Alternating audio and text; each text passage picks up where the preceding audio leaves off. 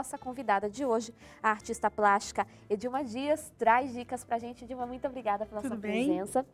Bom dia a todos. É matéria-prima, certo? Matéria-prima, isso, exatamente. Nada de parar no lixo, então. Nada de parar no lixo. Tem muito material bom, É. né, que a gente pode aproveitar, fazer muita coisa bonita, reutilizar, ajudar o planeta, fazer coisas diferentes, exclusivas. Olha, Né? é um- tem coisa melhor, gente. Fala assim, imagina, o pessoal vai na sua casa e fala, que lindo, onde você comprou? Eu que fiz. Eu que fiz. Olha que legal. né? Eu que fiz, né? Perfeito. O que que a gente vai ensinar pro pessoal hoje? Olha, esse aqui é um porta-bijuteria, tá? Então, ó, as moças que estão nos acompanhando, sabe aquele monte de biju? Brinco, pulseira, corrente. Exato, né?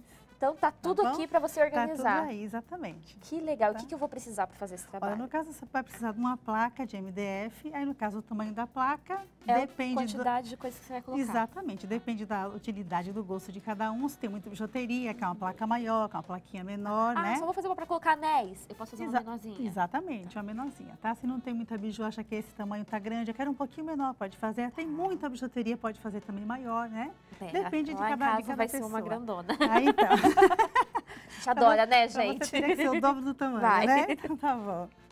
Então, A minha aqui, placa de MDF. Isso, uma placa de MDF, tá? No caso aqui eu já até passei uma base branca. Tá, então eu vou passar uma base branca na minha placa. Vamos falar Isso. todos os materiais para o pessoal Exatamente. acompanhar? Então, olha, Então, a minha placa de MDF. a placa de MDF, tecido de algodão, Tá. estampa desejada, né? E aí, gente, olha, estampa tem muita, viu? Exatamente. A estampa, ao gosto da, da pessoa, né? Um gosto Uhum. muito pessoal a estampa. Aham. Ah, o chaton, que é essa pedrinha que vai aqui no meio para dar acabamento, Tá. tá.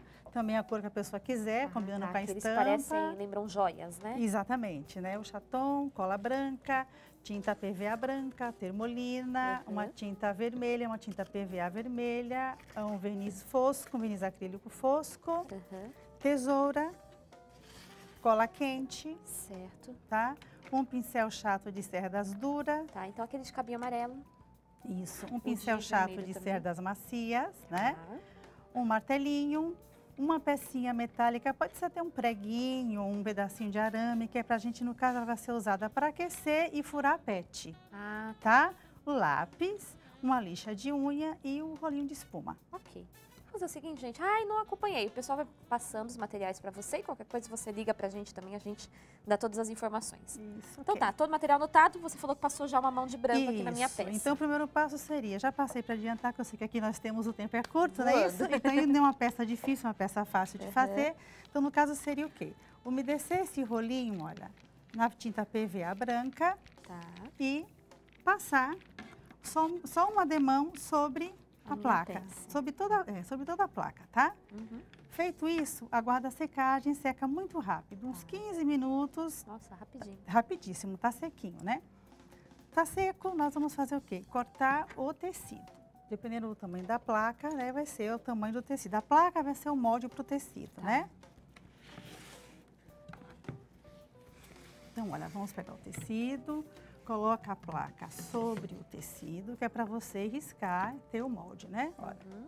coloca a placa, com o lápis você faz o contorno da placa, tá?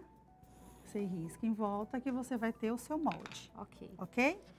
Feito isso, o próximo passo é o quê? Nós vamos impermeabilizar esse contorno, Ah, tá?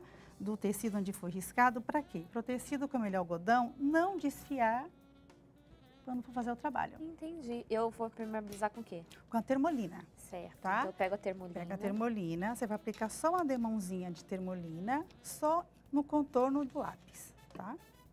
Pode usar esse pincel mesmo de cerda dura. Uhum. Então, olha, com a termolina você vai passar só no contorno, olha, tá? Se você reparar, gente, deixa eu ver se dá pra mostrar. Pode você vai mostrar. perceber que tem um risco aqui, ó. Tá vendo? O risco do lápis. Então você vai passar a termolina aqui, né? No risco. Uhum. Então tá. Isso. Passa a termolina só sobre o contorno, tá? Então, contorna todo o risco que você fez com Uhum. o lápis, tá só sobre o contorno. No meio do tecido não há necessidade, não precisa. Ok. Contornou, aguarda a secagem novamente, uns 15 minutinhos também já é o suficiente para secar.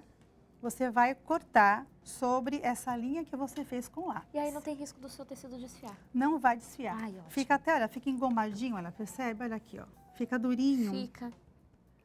Verdade, muda até a Muda até textura, a textura do, do tecido. tecido. Fica Legal. mais fácil até para cortar, para você manusear, para é bom colar na tem gente peça. que tem um pouquinho de dificuldade de cortar. Ah, Isso, para quem não até tem, não tem muita intimidade com a tesoura, né? Então, Uhum. olha, você vai recortar sobre essa linha do lápis que você fez. E que estava já passado uma demão de termolina. Ela demora para secar a termolina? Não, demora uns não? 15 minutinhos Ah, também, então. tá? E quando o tempo está assim, um dia ensolarado, gostoso como hoje, depende muito da temperatura, né? Uhum. Quanto mais quente, é tanto qualquer tinta, cola seca mais rápido. dá pra você fazendo assim, né? Você passa a termolina, daí vai adiantando o outro passo, né? E aí vai fazendo tudo. Isso, vai você ganhando tempo isso, ainda. Vai ganhando tempo, exatamente. Então, ela recorta. Certo.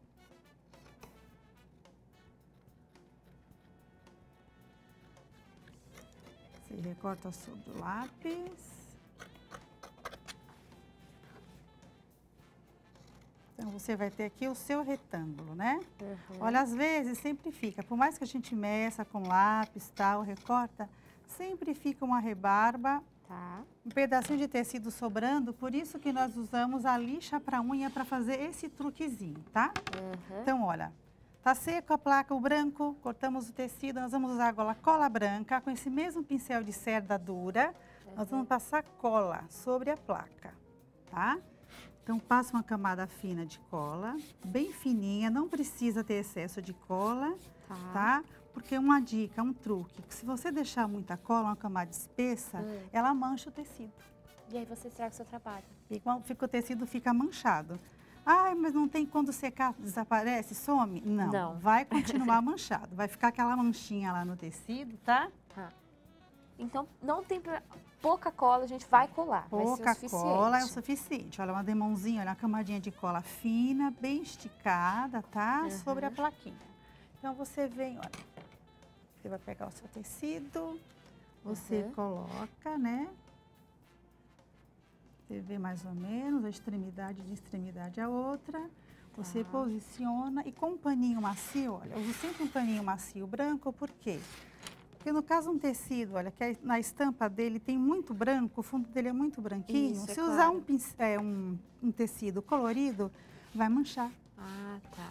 Tá? E não é legal você usar a mão, porque a sua mão também pode ter Isso, alguma A mão impureza também pode estar é, tecido. suar, o suor da própria mão, você está Uhum. mexendo com tintas, com materiais e tudo, sempre a mão fica um pouco suja, né? Sim. Então, o paninho branco, olha, você passa, que cola, o pano fica esticadinho, tira bolhas de ar que estiver embaixo, tá? Tá. Então, o paninho é para isso. Você vai empurrando o tecido com o paninho, fica bem esticado, olha, bem coladinho. Olha, aqui já está um prontinho, ó. Ah, certo.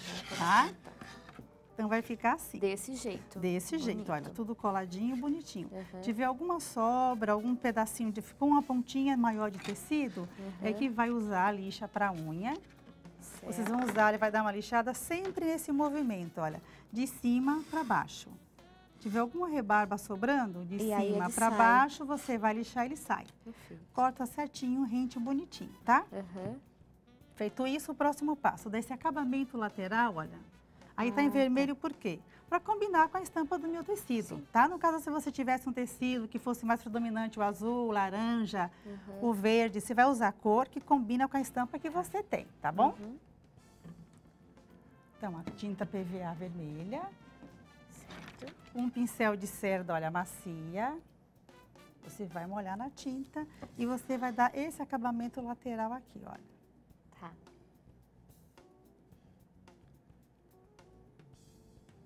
Ok? Passa duas demãos dessa tinta. Tá, duas demãos. Duas demãos. Você dá uma primeira demão, 15 minutinhos também é o suficiente, tá seca. Tá, Uhum. detalhe, é tinta base de água para lavar o pincel. Todo o material que está sendo usado, cola, a PVA vermelha, tinta branca, termolina, é tudo material à base d'água para lavar Ai, o pincel, para limpeza dos pincéis, tá? Tá bom. Então, duas demãos da tinta vermelha, guarda secagem de 15 minutos de uma demão para outra. Tá sequinho. Tá, nós vamos fazer o que? O próximo passo. A placa fica aí reservada. Uhum. Nós vamos cortar a garrafa PET para fazer esses nichos para colocar bijuteria, Entendi. tá? Tá. Então, Então, você pegou aquelas menorzinhas, Isso, peguei as menorzinhas por causa, olha, uma tesoura de ponta né? fina, Uhum. tá? Você faz um furinho na garrafa, é super fácil de cortar, de fazer. Você introduz, olha, a tesoura na garrafa e Então. você vai cortar nessa própria linha que tem no fundo A da linha garrafa. que já vem mesmo na, na linha que já garrafa. vem na garrafa, olha. Tá super fácil, olha. Corta.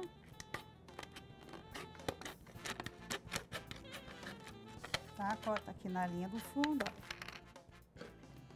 Vai ficar o quê? Uma pecinha assim, olha, Aham. tá? Você vai ter essa peça aqui, esse molde. Tá. O que nós vamos fazer? Para fazer esse, tá vendo que faz um desenho parecendo uma florzinha, que são Sim, pétalas de Sim, flores, você olha. arredondou, né? Ah, tá, olha aqui, ó, tá? Vai ficar assim. Então você arredonda com a tesoura mesmo. Isso, então com a tesoura nós vamos arredondar. Então você vai pegar, olha, de canto a canto. E vai Hum. fazer, olha, você vai dar uma entradinha aqui, olha. Arredonda aqui, dá pra Tá, ver? Dá. Olha. Vira aqui, olha, arredonda aqui, sobe, volta aqui de novo. Aproveita você os próprios gominhos da garrafa, né? aproveita os próprios gominhos da garrafa. Os próprios cantinhos nós vamos recortar, olha. E vai dar esse efeito de pétala Aham. tá? Então, finalizando, vai ficar assim, olha, vermelhas e azuis. Tá? Ai, não tem a garrafa colorida, eu posso usar a branca transparente, Exato, né? pode usar a cor que quiser. Tem a garrafa verde, tem a transparente. Usa a cor de garrafa que quiser, tá? No caso, eu usei até esse tecido, olha, você vê que ele tem muitos tons de vermelhos e azuis. Por quê? Porque eu quis usar a garrafa vermelha e azul. Tenho a garrafa verde, uma Exatamente, tem a garrafa verde, verde, de aproveita a estampa verde, a transparente, pode usar um tecido bem mais colorido, então, entendeu? Tá. Tá? Eu recortei, vocês vão pegar, olha, ou, como eu falei, ou um preguinho de repente, ou um arame. Uhum. No caso, eu tenho já essa pecinha em casa, que como eu trabalho muito, então eu já confeccionei essa peça para me Pra facilitar. facilitar. tá? Aham. Então vocês aqueçam ou no fogo, ou com isqueiro, e vão fazer um furinho, olha, na pet, olha. Aquece e fura. Vai furar fácil, gente. Tá? Fura vai super quente. fácil, ó, tá vendo? Aham. Essas peças que são colocadas, olha, que estão nessa posição, vocês vão furar aqui do ladinho, Tá. Tá? E essas peças aqui que estão aqui ah, na horizontal, vocês vão furar no meio. Essa pecinha aqui, ela é furada no meio. O furinho dela é Ah, aqui, tá. olha. Então, assim, se a sua peça for ficar em pé assim, Exato. você vai furar aqui. Na vertical, Se a sua peça for ficar deitadinha, você vai Isso. furar aqui do lado. isso, tá? Que foi onde ela virou. Ok? Ok. Alguma dúvida quanto a isso? Não, tá Então tranquilo. você fez direitinho, tudo Vou certinho? fazendo passo a passo aqui, tirando as dúvidas. Tá bom, então. Ana. Feito isso, recortei quantas peças eu preciso, se cinco, se dez, se são só três, tá? Minhas peças estão recortadas, as Tá. pets. O próximo passo é o quê? Eu vou fixar essas peças na placa. Como? Vou fixar como? Com o preguinho, Tá. tá? Então, olha, no caso eu vou pregar essa aqui. Você vai pegar o preguinho, olha, introduz aqui no orifício da... Eu fiz na pet com ferrinho, tá? Uhum. E você vai com o martelinho, você prega, tá? Você bate. Fazer um pouquinho de barulho, tá, problema, gente? Coloca mais. Olha, você prega com o martelinho. Você bate, prega, tá pregadinho. Olha, fixei a minha pet no lugar onde eu quero, tá? O que, que nós vamos fazer agora? Fica feio esse prego aqui aparecendo, É. né? Não tem graça nenhuma, né? Uhum. Fica, fica muito feio. Então, o que nós vamos fazer para dar acabamento aqui? Nós vamos colar o chaton em cima, olha, na cabecinha aqui em cima do prego, nós vamos fixar esse chaton com uma cola quente. Ah, uma gotinha de cola quente. Uma gotinha de cola quente no chatão, olha.